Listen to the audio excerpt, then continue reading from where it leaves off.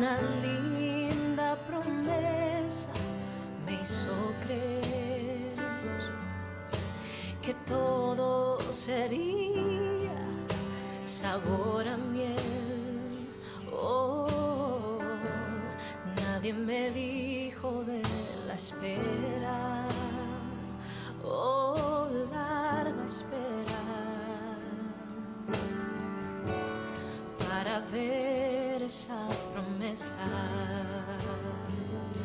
Ha sido largo este camino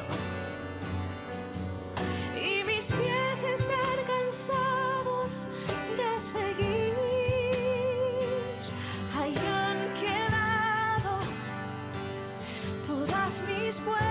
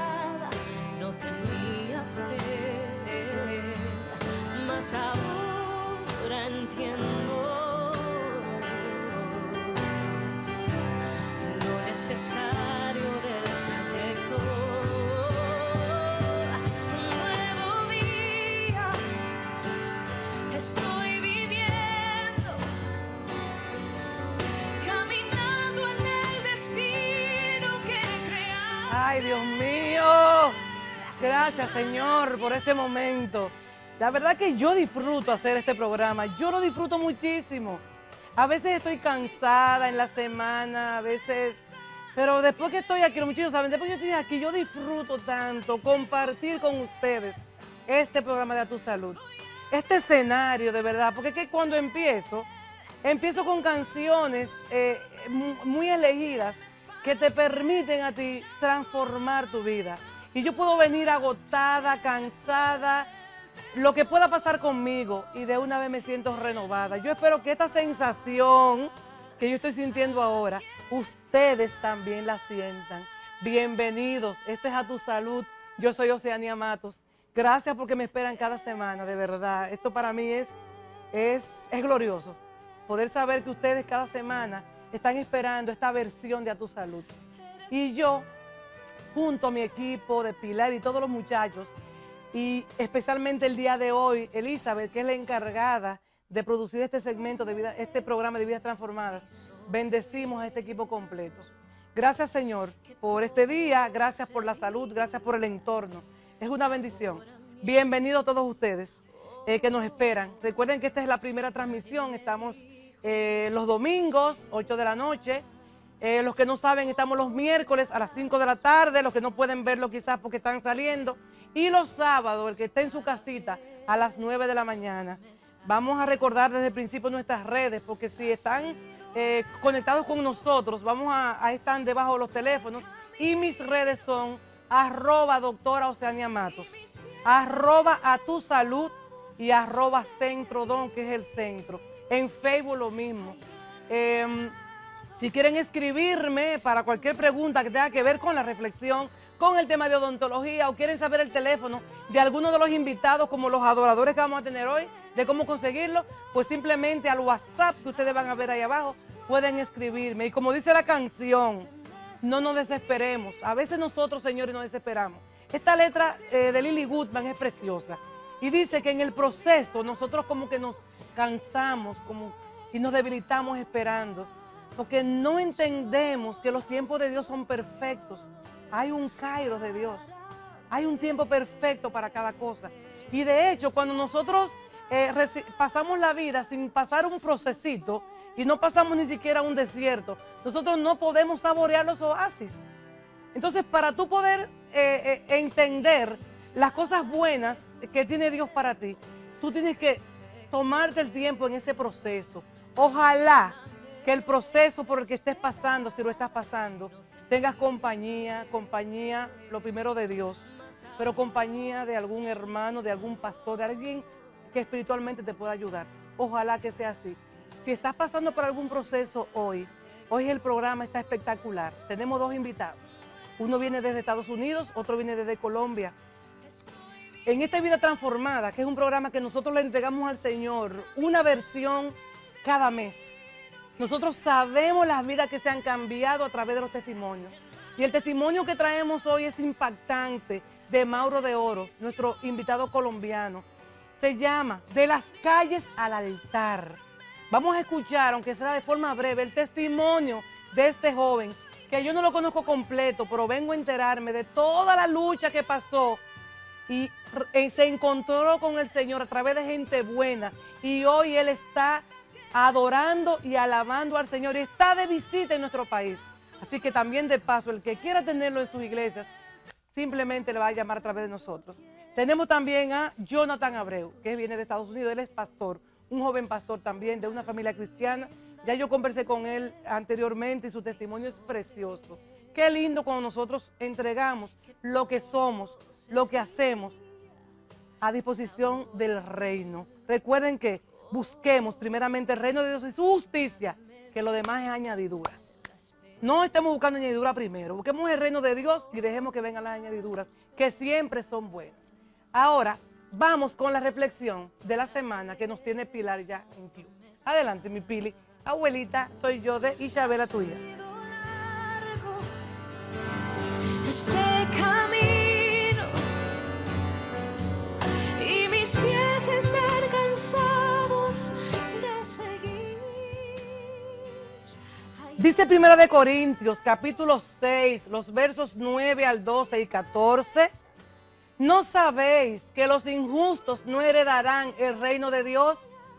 No erréis, ni los fornicarios, ni los idólatras, ni los adúlteros, ni los afeminados, ni los que se echan con varones, ni los ladrones, ni los avaros, ni los borrachos, ni los maldicientes, ni los estafadores heredarán el reino de Dios. Ahora, concéntrense en esta parte. Y esto erais algunos, mas ya sois lavados, mas ya sois santificados, mas ya sois justificados en el nombre del Señor Jesús y por el Espíritu de nuestro Dios. Palabra de Dios. Todas las cosas me son lícitas, mas no todas convienen. Todas las cosas me son lícitas, mas yo no me meteré debajo de potestad de ninguna. Y Dios que levantó al Señor, también a nosotros nos levantará con su poder.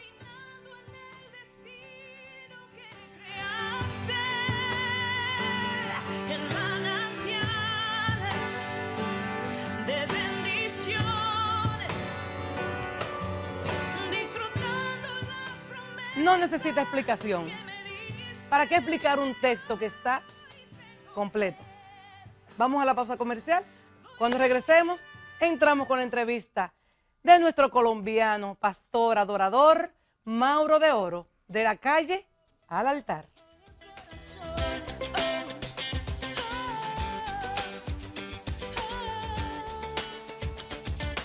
Centro Odontológico Doctora Oceanía Matos, un equipo de profesionales dirigidos por la doctora Matos para hacerle lucir su mejor sonrisa, garantizándole alta calidad en prevención y restauración dental. Aplicamos técnicas avanzadas y de última generación en implantes dentales. En Bellavista, 809-534-5555 y en la zona oriental en el 809-591-4559. Centro Odontológico Doctora Oceanía Matos zapatos. Vive la vida con una saludable sonrisa.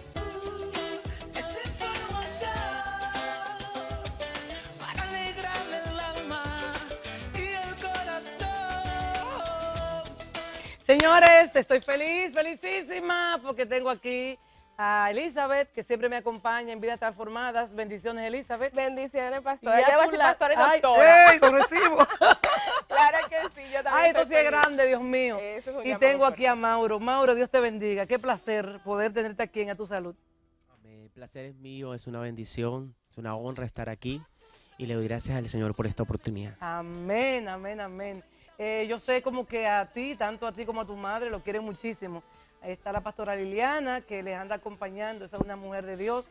Y sabemos que estás en un mediatura aquí, ¿verdad? Estás haciendo un mediatura aquí en Santo Domingo. Y nosotros no podíamos quedarnos atrás, porque es que los artistas tienen que pasar por tu salud. Esta es una plataforma buenísima. Y hay algo que nos caracteriza, Mauro, y es que eh, lamentablemente para una persona poder escuchar canciones de adoradores, canciones cristianas, tienen que irse a las iglesias. ¿Nosotros qué hacemos? Le traemos el adorador aquí a esta casa y de aquí sale al país entero. O sea que aquí el país completo te va a ver, fuera de la gente que nos ve, fuera del país a través de nuestras redes. Te bendigo de verdad. Amén.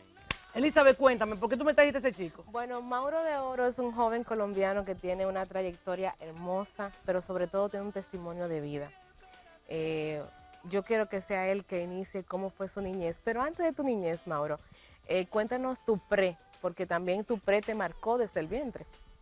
Colombiano, ¿eh? Bueno, como tú Sí, dijiste. sí. Así es, gracias una vez más por la oportunidad. Es para mí una honra estar aquí. Eh, compartir el testimonio eh, hace parte de un proceso eh, en mi vida que me quebranta mucho. Eh, realmente todos tenemos una historia de vida que contar, ¿verdad? Todos tenemos una historia de vida que hemos pasado, hemos vivido situaciones fuertes y la mía pues tiene que ver con un sufrimiento que en el proceso marcó mi vida de muchas formas, como el abuso sexual, el rechazo, el abandono, la orfandad de no tener un papá, una mamá cerca. Todos esos detalles eh, llegaron a marcar mi corazón hasta el deseo de no querer vivir. Y, fueron ocho ocasiones aproximadamente que yo intenté quitarme la vida. Y en todo ese proceso de mi vida, eh, por no tener ese papá que nunca lo conocí porque abandonó a mi madre cuando estaba en embarazo, la dejó embarazada, ella siente un rechazo por mí, ese rechazo yo lo recibo porque los niños sienten los rechazos desde, desde el vientre, yo sentí ese rechazo y nací. Eh, al año y medio de estar viviendo con ella me trasladan a otra ciudad de Colombia. En esa ciudad de Colombia yo crezco en otro hogar, en otro núcleo familiar, en donde a partir de los cinco años en adelante yo empiezo a sufrir de abuso sexual. Y a muy temprana edad yo hago recuerdo de muchas situaciones eh, que marcaron mi vida en el abuso sexual. Y eso fue hiriendo mis sentimientos, mis emociones y me convertí en un niño con baja autoestima, con fobia, eh, tenía temor a hablar al- eh, en hablar al público. callaba muchas situaciones que me pasaban, dentro de ellas el abuso sexual.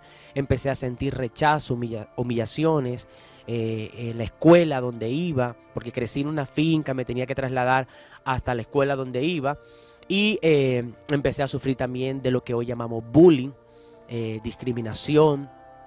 Eh, todas esas situaciones me fueron llevando a pensar eh, que mi vida no tenía sentido, que mi vida eh, no valía nada, no me sentía amado, no sentía eh, que era importante para nadie, porque en la familia que crecí, a pesar de que creía en Dios a su manera, nunca eh, pude eh, conocer a Dios como tal, sino que eh, en mi proceso tenía experiencias con Dios a mi manera, porque escuchaba desde muy pequeño la voz de Dios en sueños, la escuchaba en mi oído y eran experiencias que yo guardaba como un tesoro, pero a nadie se las decía. Y había como una batalla entre todo lo que sufría y ese llamado que ya empezaba desde pequeño. Como dice la escritura en Jeremías capítulo 1 versículo 5, que antes que naciese ya te había escogido y antes que estuvieras en el vientre de tu madre ya te había santificado. Y es precisamente ese el llamado que Dios me estaba haciendo, aunque era un niño y estaba pasando por todo eso y estaba sufriendo cosas que no le decía a nadie, eh, ya Dios tenía un llamado para mí. ¿Y cómo vino ese cambio? O sea, ¿quién trabajó contigo? ¿Qué te pasó? Por el bullying realmente, ¿por qué te lo hacían? O sea, ¿qué pasaba contigo que la gente te molestaban, tus amigos te molestaban? eh, dentro de esa vida de abuso, esos procesos eh, que ¿Se son abusaron dolorosos, hombres? hombres, sí, eh, personas cercanas que habían en la familia, personas incluso familiares, primos, tíos, que de una u otra manera se acercaban a la familia con confianza y desde niño fue un niño agraciado y eh, había esa inclinación y siempre eh, se conectaban y, se acercaban a mí con esas intenciones. Entonces cuando eso sucedía, yo me encerraba, eh, empecé a sufrir a muy temprana edad de depresiones, me encerraba y callaba todas esas situaciones. Y yo empecé a, a- a tener actitudes, comportamientos, cosas que me llevaron a, a inclinarme, a, a rechazar todo lo que tenía que ver con lo masculino, todo lo que tenía que ver con la figura de papá, la figura masculina, el hombre, porque era lo que me estaba agrediendo, Claro. era lo que estaba lastimando mi identidad. Y yo empecé a inclinarme por las cosas femeninas, habían conductas, comportamientos, eh, actitudes que empezaron a dar a deducir que había otra inclinación, ori- una orientación sexual diferente, que el hombre eh, la mira como normal hoy día, pero en realidad es espiritual, tiene una fuerza espiritual eh, que la Biblia lo llama, que eh, además de eso es un pecado y que lo llama un espíritu.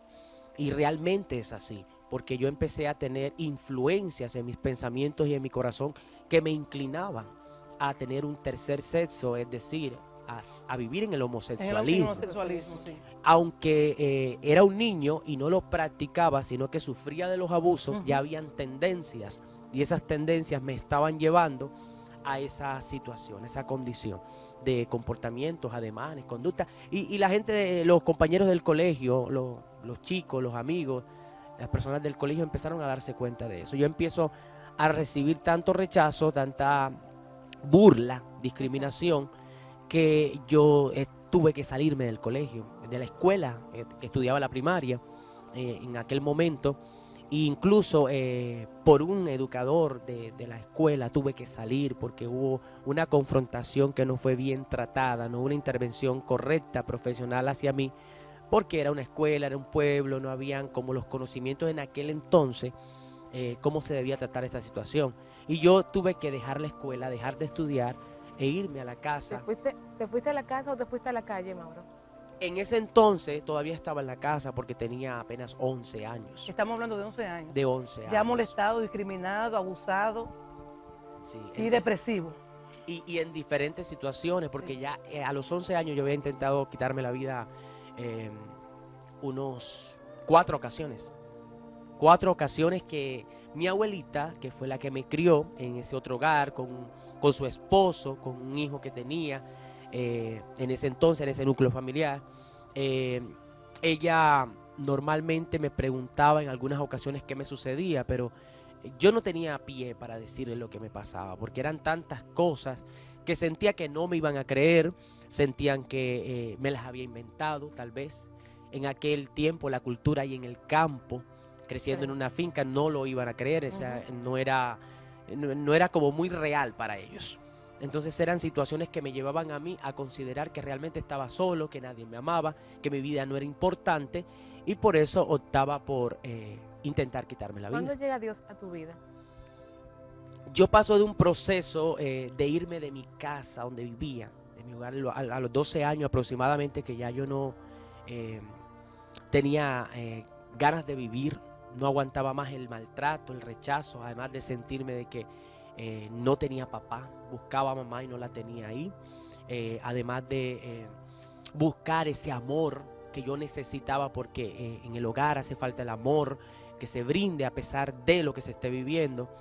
Y yo buscaba eso e intenté huir de mi casa. Y me fui a los 12 años y es cuando llego a la calle y tengo que ganarme la vida como yo puedo, en restaurantes, lavando platos, explotado laboralmente. Ya entro en el proceso de ser explotado laboralmente siendo un menor de edad. Y la explotación laboral era que me tenían escondido en un restaurante, trabajando horas súper extras. Vulnerable Sí, Claro. vulnerable a todo tipo de a abuso. todo tipo de abuso. Y allí llegaban clientes, llegaban personas que intentaban lo mismo y seguí siendo abusado. En muchas ocasiones volví a ser abusado sexualmente, de muchas maneras, en diferentes grados. Y llegó un momento donde era, era lo que hacía, huir de los lugares donde estaba porque siempre me perseguía eso. Me perseguía, entonces en ese proceso de estar en otra ciudad, porque yo me trasladé de una ciudad donde vivía, donde crecí, a otra ciudad en Colombia, me voy a Cartagena, la última ciudad que yo pisé, ya sin deseos de vivir, sin ganas, tenía como que 13 años para 14 años, cuando llego a la ciudad de Cartagena, y es donde eh, llego en malas condiciones también, eh, quedé en malas condiciones a los tres días de estar en la ciudad sin tener cómo saber tomar un bus, cómo resolver mi vida. Eh, llego a una residencia en el tercer piso, la octava vez intento quitarme la vida y deseo lanzarme del tercer piso es donde tengo otra experiencia con Dios, aunque no tenía el conocimiento de Cristo, de Dios, eh, tenía esas experiencias con Dios. Y es donde eh, se evita eso, voy a la policía de infancia y adolescencia y la policía de infancia y adolescencia me lleva a un hogar internado donde empieza una nueva etapa de mi vida, eh, en donde voy a conocer al Señor. O sea, cuando te llevan ese internado, entonces es una etapa buena. Es una etapa en donde buena, donde mis derechos empiezan a ser restablecidos, pero mi vida todavía sigue dolida, yo sigo en mi interior herido, sigo Vacío. vacío, sigo lleno de dolor, de resentimiento, de esa necesidad de papá y mamá, porque restablecen mis derechos como eh, persona, pero no mi alma. Y mi alma estaba herida. Y es donde llega de una manera inexplicable un hombre usado por Dios, que eh, fue mi primer pastor, a través de quien yo me convertí, quien me predicó el Evangelio. Vamos a hablar de esto. Vamos a una pausa comercial. Pero yo quiero que, que la gente ponga mucha atención. Lo que Mauro está contando es una historia muy repetida. Lo que pasa detrás de un niño abusado es una historia muy repetida. Lo que pasa a un niño eh, con bullying por amaneramiento es algo muy repetido. Entonces, lo que nosotros hagamos en la edad de 2 a 5 años como familia, como ministerio, es muy importante. Aprovechemos y aprendamos de este testimonio donde ya hay un joven que ya Dios ha transformado, que está en un proceso todavía de seguir cambiando. Que pongan atención a este testimonio de este joven. Vamos a la pausa y cuando regresemos vamos a hablar de esa parte donde él tiene un encuentro con el Señor. Y entonces veamos cómo empieza a escribir y cómo él se siente ya que está siendo sanado y libertado.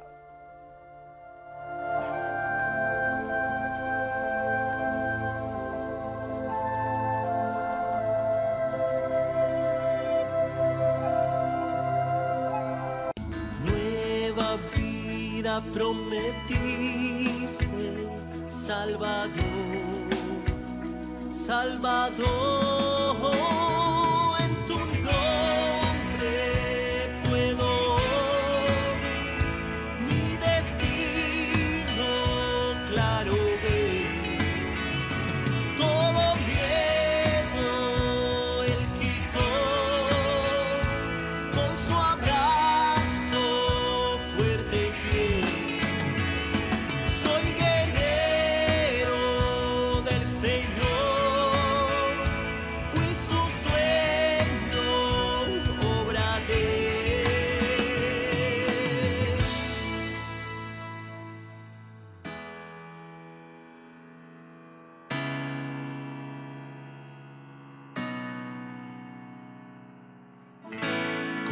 Amor me llenaste, con tu luz me guiaste, con tu voz me formaste una y otra vez.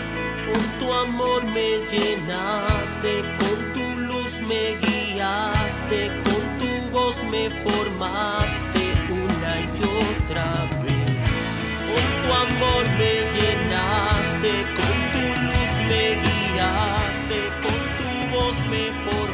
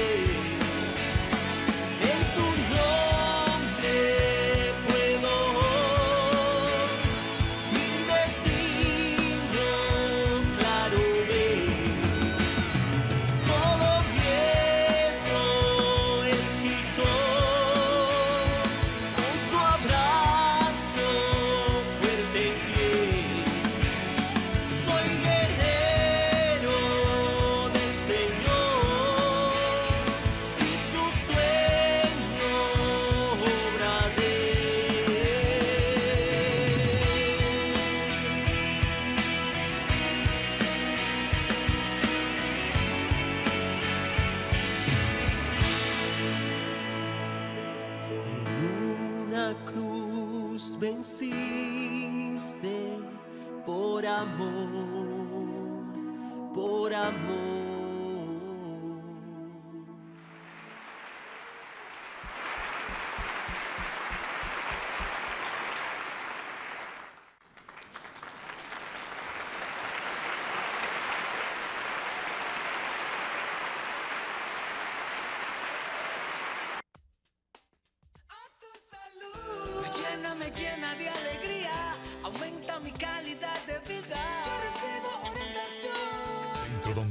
Doctora Oceanía Matos, un equipo de profesionales dirigidos por la doctora Matos para hacerle lucir su mejor sonrisa, garantizándole alta calidad en prevención y restauración dental. Aplicamos técnicas avanzadas y de última generación en implantes dentales. En Bellavista, 809-534-5555 y en la zona oriental en el 809-591-4559. Centro Odontológico Doctora Oceanía Matos. Vive la vida con una saludable sonrisa. Tú tienes un tesoro alojado en ti, más valioso que un rubí, valóralo. Les digo algo, para mí realmente hoy es un día de mucha bendición, poder nosotros hacer entrevistas de este tipo y saber que Dios transforma, que solamente hay que confiar en Él y hay que encontrar gente y mujeres y hombres como la pastora que, que eh, puso en su hogar este joven eh, para ayudarlo. Yo quisiera, bueno, yo voy a la odontología mis cinco minutos porque es columna por aquí, pero de verdad el el día está para seguir dando testimonio. Y yo espero nosotros poder bendecir a muchos hogares hoy y que muchos muchachos que no tienen identidad hoy puedan hacer un cambio de actitud después de este testimonio. Y que nosotros, los que estamos en el medio, cuidémonos de relajar a la gente que tiene esta situación porque Dios les ama al igual que a ti, al igual que a mí. Bueno, vamos con odontología. y luego, después de odontología, venimos con Jonathan, otro testimonio muy lindo también de un joven dedicado al Señor. Miren, vamos a hablar, eh, como seguimos, odontología, eh, aquí en A Tu Salud es Prevención. Y vamos a hablar de caries dental. Vamos a ver las imágenes que nos tiene Pilar por aquí, la tengo detrás. Y estamos poniendo unas imágenes de caries bastante fuerte. Y la gente dirá, pero doctor Oceanía, pero ¿y es posible? Sí, es posible. Es posible que esto pueda pasar. Pero para poder tener caries bajo esas condiciones pueden pasar muchísimos problemas. Si se dan en caso de niños, puede ser que la madre le deje el biberón en la boca al bebé hasta que vaya a dormirse y el bebé se acuesta y no le pasa ni siquiera un dedito con un dedal especial o una toallita con agüita por encima de los dientes y toda la placa bacteriana que va a dejar el biberón, incluso la leche de los senos, va a provocar que un niño de dos años tenga caries bajo estas condiciones. Cuando hablamos de adultos, hay adultos también. Y esas caries, como todas, empiezan pequeñas. Todo mal, todo daño empieza pequeñito. Entonces, si esas caries pequeñas nosotros no le prestamos atención, se van a complicar. Y en el caso de estos pacientes, que hay mucho más, necesitan ayuda. Lamentablemente, casos como estos prácticamente se van a dar para extracción, porque están tan dañados, tan cariados, que cuando vamos a limpiar encontramos que el diente queda casi en el tronquito, lo que la gente le dice un, un soquito. ¿eh? Y esto pasa con niños y con adultos. Ahora bien, es un adulto, es un adulto, ¿qué puede provocar este tipo de problemas? Nos vamos a ir de lo más sencillo, mala higiene. Mala higiene. O sea, si es un niño, una mala higiene por parte de los padres y una despreocupación para llevarlo al dentista. En adultos, mala higiene también. Pero en estos tiempos, los millennials, que son los muchachos de ahora, están usando, qué bueno que la están prohibiendo, las cucas. Señores, mis pacientes que llegan a mi consulta con caries blancas, yo le digo, tú estás usando mucha juca, efectivamente. El contenido que le están poniendo a las jucas, aparte del daño que hacen al cerebro y al cuerpo entero, están dañando los dientes. ¿Qué otra cosa puede causar un daño? Bueno, un paciente que es gordo y se somete a una cirugía bariátrica, como vomita mucho, ese vómito sale con este líquido lleno de fluidos muy fuertes. Entonces, ese, ese vómito que llega a la boca muy ácido va a picar los dientes, va a dañar los dientes. Por lo tanto, una persona que se hace una cirugía bariátrica debe cuidarse porque no se va a poner como lo, lo pusimos así en principio de pronto, pero si no se atiende y se deteriora muy rápidamente. ¿Me están siguiendo? Ok, un paciente que tenga bracer, ortodoncia y no se dé la higiene necesaria y se descuide con ir a su consulta odontológica o el dentista solamente se limita porque hay dentistas que hacen ortodoncia muy bien, pero ahora mismo en el país hay, hay personas que no son odontólogas, son personas que están inventando y le ponen bracer a los pacientes. A ellos no les importa la salud de los dientes del paciente, ellos solamente les importa que le pagues el poco de dinero que le vas a pagar y no les interesa que esas piezas se limpien. Por lo tanto, si tú tienes bracer, tienes que duplicar tu higiene, tienes que multiplicarla, tienes que usar instrumentos específicos necesarios para limpiar los dientes. Así que ya lo sabes, estos son los consejos que dejamos por el día de hoy. Estamos pasando otras imágenes, un apiñamiento severo no va a permitir que tú entres en lo dental como debes entrar y así sucesivamente. Dejamos el segmento hasta aquí porque vamos a entregarle hoy la mayoría de tiempo a vidas transformadas y voy a pasar al otro ladito ya un ratito con Jonathan. Vamos a recordarle que este segmento llega a, eh, nombre de Dental Line, ¿de acuerdo? Dental Line es, eh, son muebles y equipos para odontólogos. Los fabrica Ofi Empresa y Ofi Empresa tiene su sede en Plaza H, primer nivel. Eh, Doctor Fay, gestión odontológica, eh, modernizando tu consultorio. Si quieres conseguir los mobiliarios y ver otro tipo de muebles, vas a entrar a la página web www.ofiempresa.com.do. Ahora pasamos a la sala de A Tu Salud dándole la bienvenida a Jonathan. Dios te bendiga, Jonathan y Elizabeth de nuevo. Es un honor, un privilegio estar Para acá. mí también. Disfruté contigo muchísimo el otro día. Ustedes saben, muchos de ustedes saben que yo hago una, un programa los miércoles en la mañana en Digital 15, en el programa de Aprendiendo a Vivir. Conduzco y para la gloria de Dios, Aprendiendo a Vivir, que es un programa secular, ya está llevando muchos artistas cristianos. Y qué bueno que también en este programa secular, pues también vamos con los artistas. Jonathan, Yes. cuéntame todo. ¿Cómo te ha ido en todo este tiempo que has estado aquí en Santo Domingo? Eh, Súper, no puedo quejarme. Dios ha sido bastante, bastante bueno. Eh, he estado en muchos lugares, diferentes partes del país, y he conocido tanta gente maravillosa como ustedes. Y ha sido un- una experiencia que no me voy a olvidar de ella. Él no se quiere ir de Amén. República Dominicana. Está. No se quiere ir. Ha cambiado el vuelo como dos veces. Es verdad. Dos veces. Fuera de una Sí. gripecita que te dio, porque a mí Oh, también, pero yo sé que ha estado ministrando en muchos lugares. Sí, sí, he estado, ha sido algo. el este domingo que pasó estuve en tres iglesias, imagínense, en- en, un ¡Wow! día. ¡Qué bueno! Pero eso es un privilegio, hay que aprovechar el tiempo. Amén. Sí, Jonathan, bueno, yo sé que tú vienes de familia cristiana, correcto. ¿verdad que sí? Sí. Eh, entonces, eh, cuéntame cómo ha sido esa vida. Fíjate que en la entrevista pasada estamos hablando con un jovencito, ¿verdad? Que pasó muchísimas situaciones, Correcto. pero de manera corta, porque yo sé que queremos que tú cantes, ¿verdad? Y, y ojalá que en otra ocasión podamos ven- también recibir tu testimonio completo, eso va a pasar, esta es tu casa ya. Pero Gracias. ¿cómo, ¿cómo te involucraste eh, siendo, eres eh, hijo de pastores? Sí, sí. Tú sabes que eso no es fácil, soy hija de Ella es pastor. Los Oh, hijos sí. de pastores no quieren iglesia. HP. No quieren iglesia. No, ¿Cómo, no. ¿Cómo siendo hijo de pastor? Que la gente no entiende eso. Te Sí. involucraste en estos asuntos. Dios. No tiene otra explicación.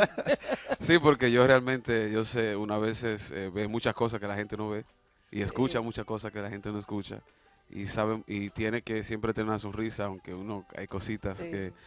Pero yo me enamoré de Dios primero y él y él me enseñó que bueno y es un privilegio ser hijo de pastor es un Sí, así. es Una un honor bendición. y Es una gran bendición. bendición y, Sí.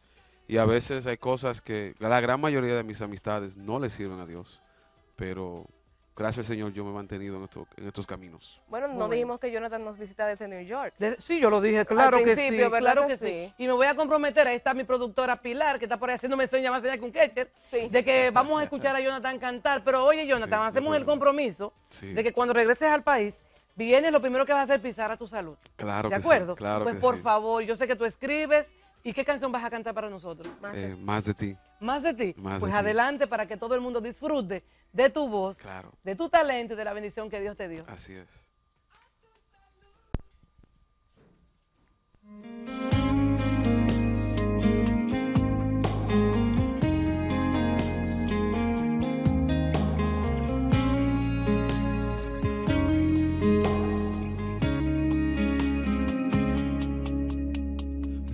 Busco estar más cerca, hallar tu intimidad, porque solo en tu presencia siente plenitud mi integridad. No quiero distancia, quiero más de ti. Sumergirme en la abundancia de tu amor que es todo para mí. De tu gran amor divino, más permíteme quedarme siempre cerca, mi Señor. Y sentirte aquí conmigo, donde solo escuché yo tu voz, sin que nada me aparte de ti, oh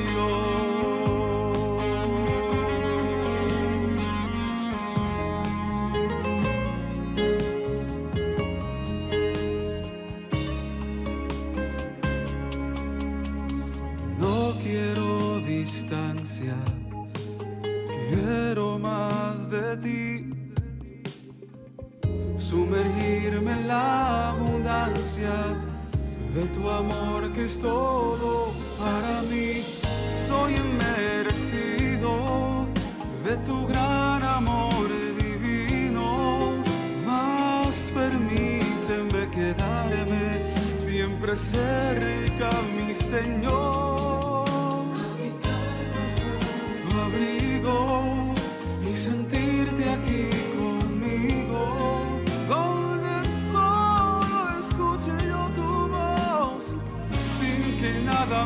me aparte de ti.